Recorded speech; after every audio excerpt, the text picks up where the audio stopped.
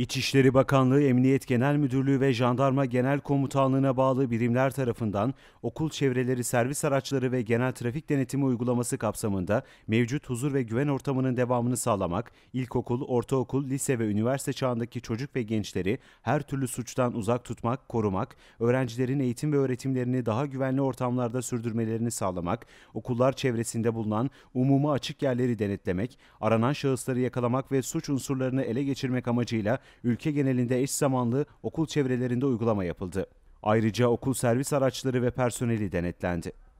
Ülke genelinde eş zamanlı olarak 48.576 personelin katılımıyla 34.259 okul servis aracının denetlendiği uygulamada 233 adet okul servis araçları yönetmeliğine uymamak, 105 adet emniyet kemeri takmamak, 32 adet fazla yolcu taşımak ihlalleri başta olmak üzere toplamda 2128 araç ve sürücüsüne cezai işlem uygulandı ve eksikliği tespit edilen 647 okul servis aracı trafikten men edildi.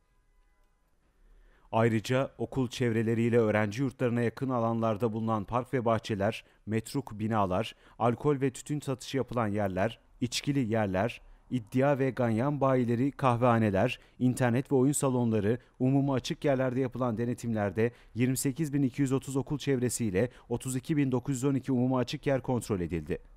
138 iş yeri hakkında idari işlem yapıldı. Okullar çevresinde ve umuma açık yerlerde bulunan 370.099 şahıs sorgulandı. 1 FETÖ-PD'ye 20 uyuşturucu suçları, 7 cinsel suçlar, 58 yaralama, 24 hırsızlık, 26 dolandırıcılık, 20 tehdit, 6 hakaret, 12 kayıp çocuk, 872 yoklama kaçağı bakaya, 216 diğer suçlardan olmak üzere toplam 1262 aranan şahıs yakalandı.